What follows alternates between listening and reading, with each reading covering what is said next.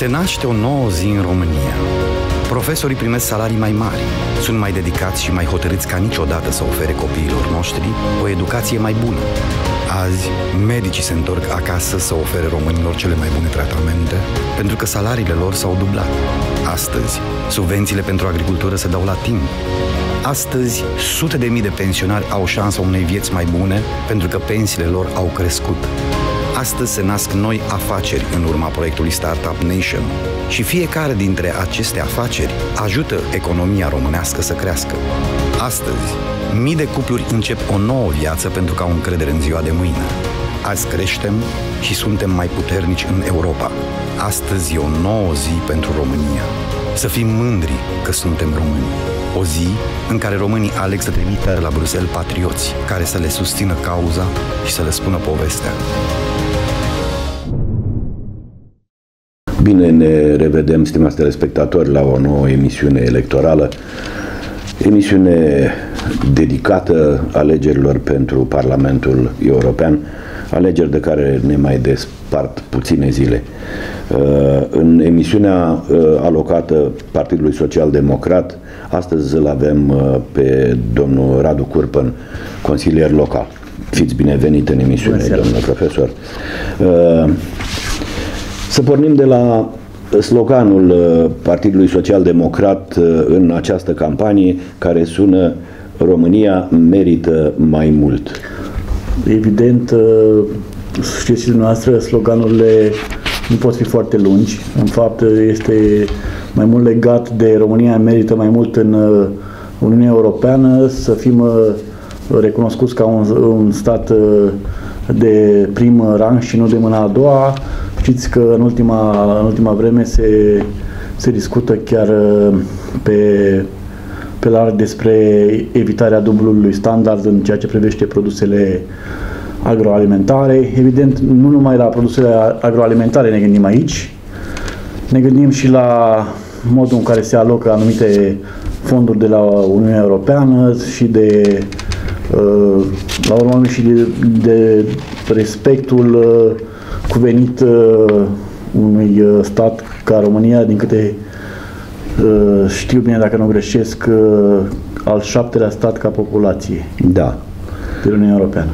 Uh, iată apar în ultima vreme cel puțin au apărut din ce în ce mai des articole și pe uh, internet în legătură cu diferențele care există între statele dezvoltate și statele mai puțin dezvoltate din Uniunea Europeană.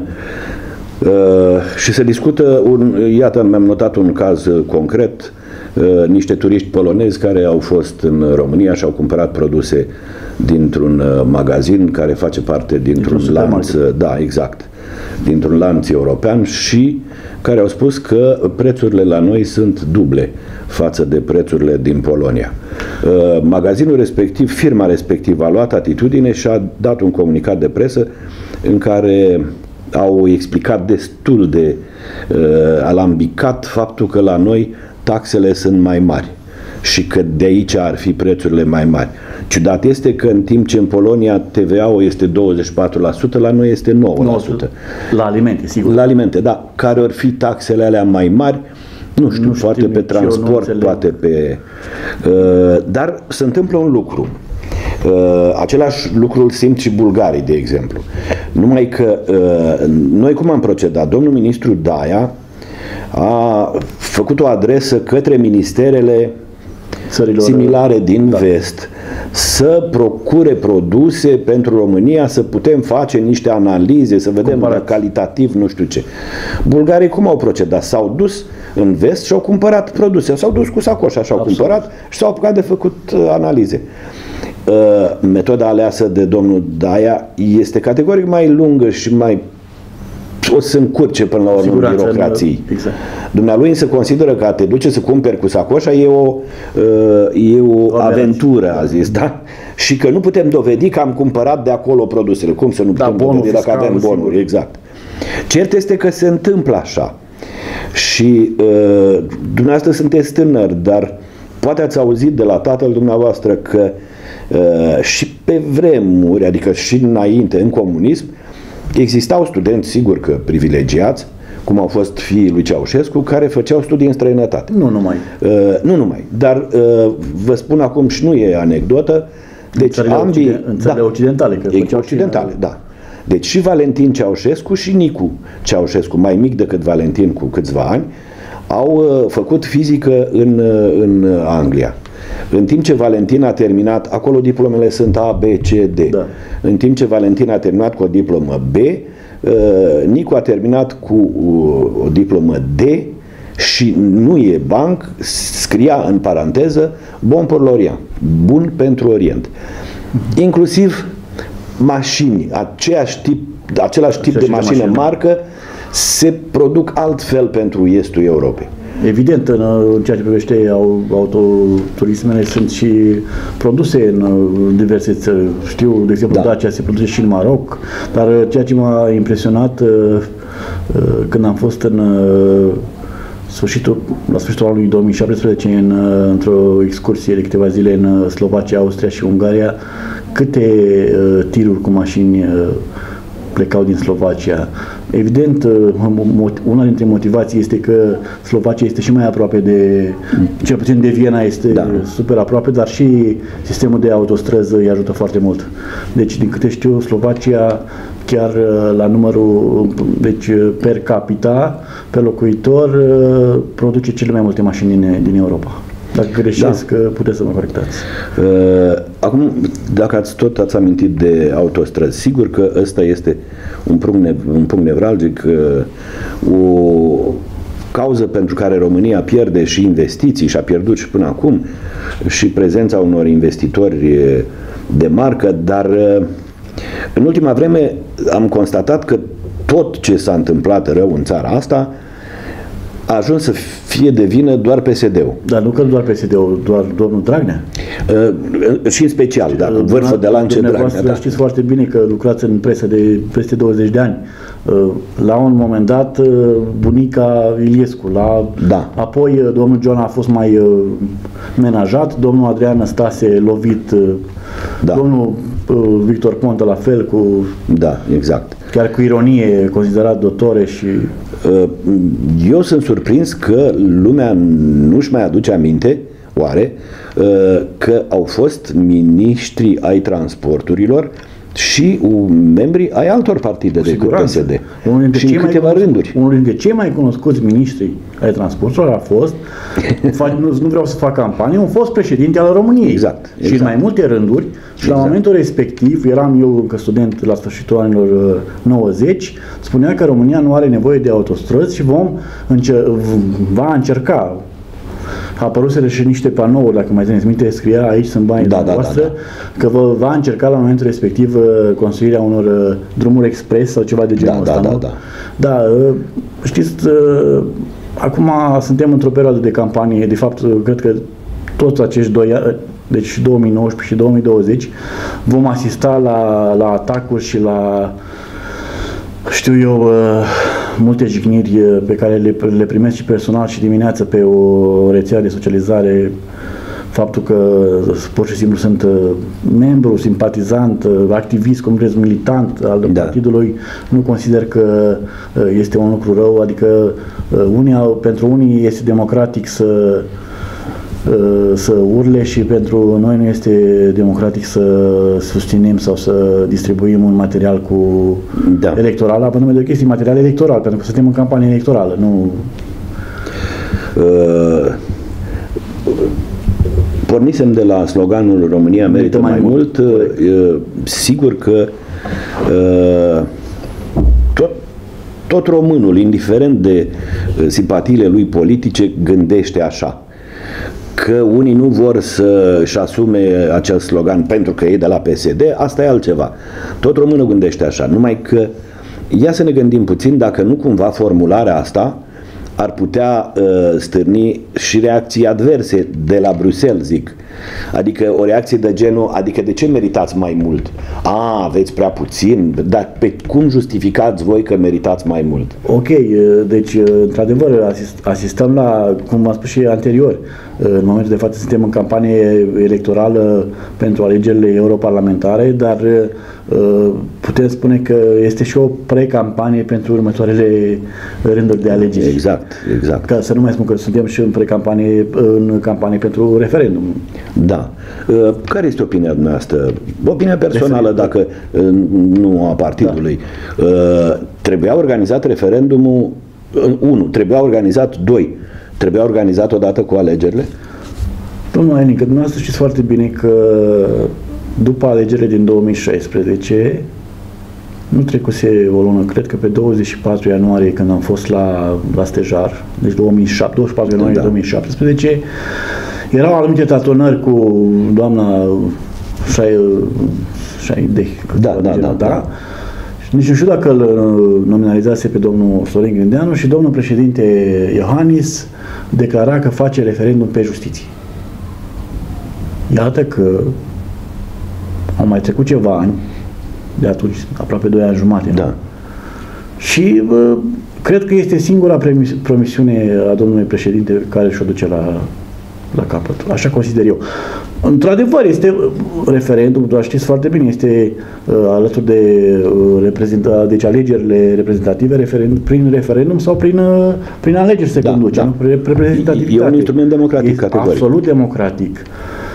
Ceea ce mă intrigă, eu am fost și profesor de cultură civică și uh, știu că lucrurile și, și am, adică am studiat mai, mai mult Constituția da. decât, uh, decât mulți dintre români, romașcani, cum, fără să jignesc pe nimeni acum.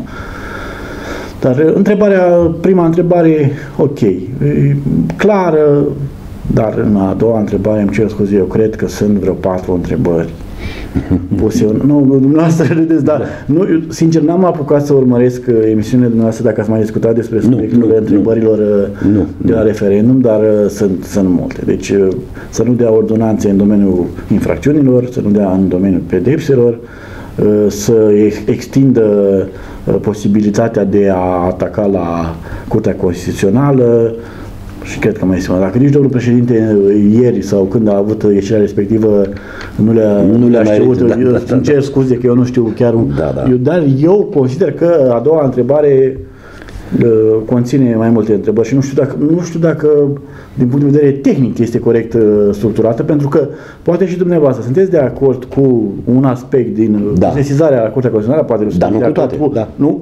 Și cum, cum putem face? Punem câte un punctuleț pentru fiecare? Nu. Deci sunt uh, buletinele clasice, da, nu, sunteți de acord, da, nu.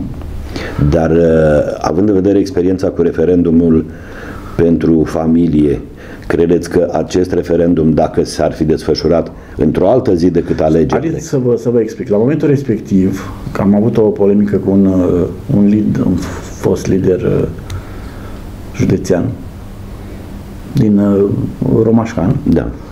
dar de lider politic, da? de, de partid politic. La momentul respectiv, uh, din câte știu, nu se puteau uh, organiza în același timp. A venit o, o nouă precizare din partea Curții Constituționale care a, a statuat faptul că totuși pot avea loc.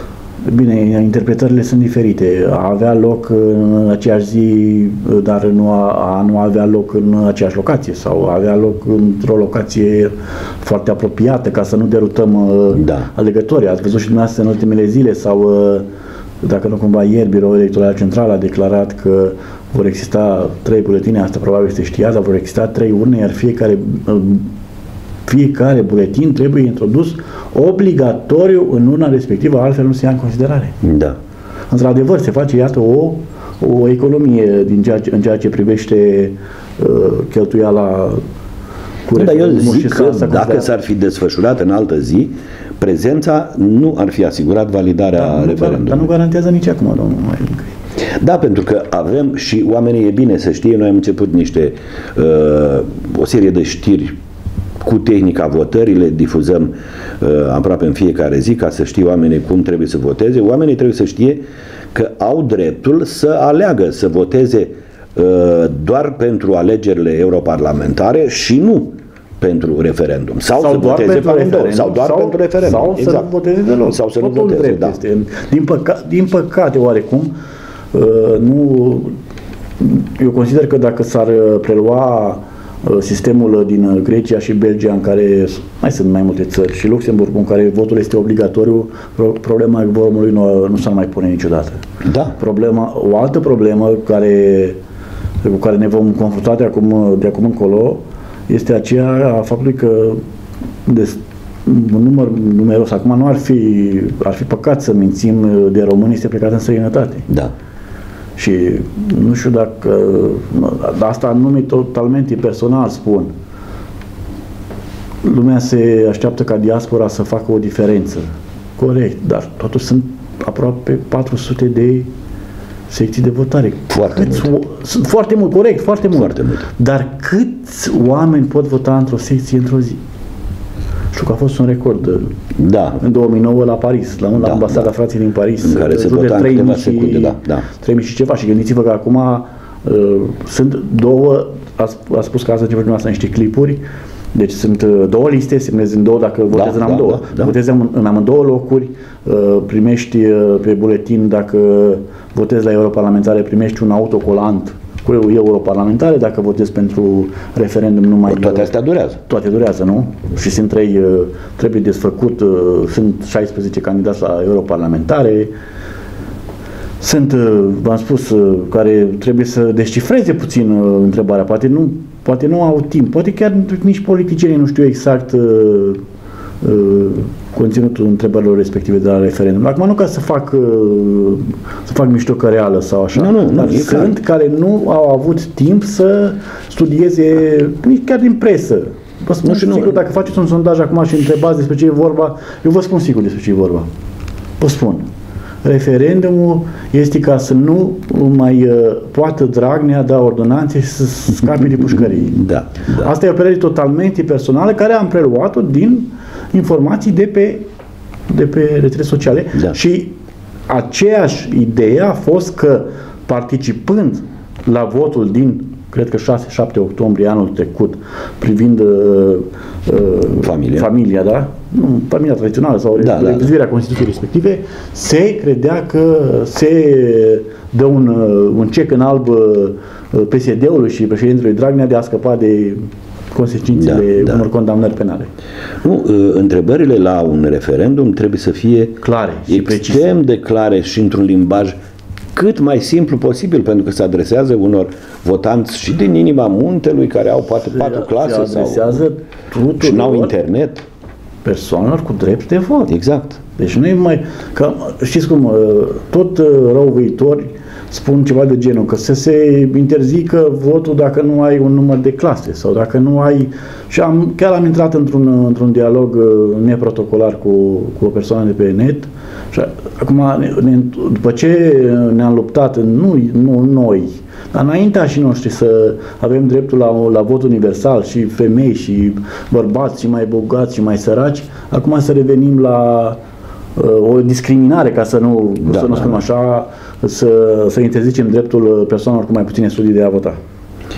Da, nu e. Uh, acum, pentru că tot vorbim de domnul Dragnea, uh, sigur, dumneavoastră sunteți membru de partid și uh, poate că sunteți convins sau poate disciplina de partid vă obligă să îl susțineți dar eu... Mă scuzați, dar domnul Dragnea nu candidează acum. Nu, nu, nu, știu. Ah, nu, am împotriva campaniei de care vorbeam, da. Dar spuneți-mi dumneavoastră, nu ca membru de partid, ca educator, credeți că ar fi posibil, teoretic măcar, ca un lider de partid național să facă toate demersurile uh, ca instituționale să se, ca să se scape, ca să se scape da, pe el da, în da, da, dar nu în România, în Venezuela poate. Sau în Cuba. Nu cred că în România. Sau în Rusia. Dacă mai țineți minte, la un moment dat, după un număr de mandate de, de președinte, uh, președintele Putin a schimbat Constituția, a fost patru ani uh, uh, premier, da, da, da, da, și după aia a, revenit, a putut da, da, să, da, să da, revină da. pe viață, probabil. Da, da. da. Deci nu, eu nu cred că în România există posibilitatea asta. Nu, e exclus. exclus. Din păcate, uh, iată, vreau să vă întreb, mai sunt puține minute, ce vor face, uh, ce sperați să facă europarlamentarii PSD. Uh, cred că trebuie să facă ceva neapărat pentru uh, comunicare, pentru informare, pentru înțelegerea informațiilor. Sunt foarte mulți oameni care îngurgitează, ca să zic așa, informația de pe rețelele de socializare, nu înțeleg, dar sunt convinși că e așa. Uh, vezi și interpretările că cu mult discutată aculita și uh, protestata ordonanță de 13 și cu uh, deci nivelul de înțelegere ăsta este. Sunt unii care înțeleg mai ușor, mai repede, alții nu pentru că le lipsește o bază. Uh, ceea ce, ce sper eu de la europarlamentar, dar și de la parlamentare național, cum ar veni, da. din Parlamentul României, în primul rând să uh, militeze pentru o lege uh, împotriva fake news-urilor, pentru că uh, poate am pronunțat greșit acum, că nu prea nu, se spune așa la plural, pentru că viteza informației este extraordinar de mare și ori, știți cum se spunea odată, o piatră aruncată de un... Nebun în baltă, nu, se chinuie... Nici 10 da, deștepți da, nu, nu, nu mai poți Așa și aici. Ajungem să, să mânjim uh, un om care poate este nevinovat și după aia uh, încercăm uh, ani de zile să, să se reabiliteze și eu nu vorbesc acum de domnul Dragnea, vorbesc de oricare dintre noi, pentru că orică, oricare dintre noi ar dori poate vreodată să, de ce nu, să, să, să fie mai activ pe plan uh, politic sau pe plan administrativ. Da, da. Îi se aduce în cârcă o, o informație, pentru că mai este foarte ușor, scrie pe Google cu Radu Curba sau Dana Elica, îi găsești o informație mincinoasă sau un comentariu răutăcios de acum câțiva ani și spui că cu siguranță da. Radu Curpa a lăsat nu știu ce copii repetență, o, o minciună. Da, deci da. totalmente o minciună. Este greu uh, să, să se reabiliteze.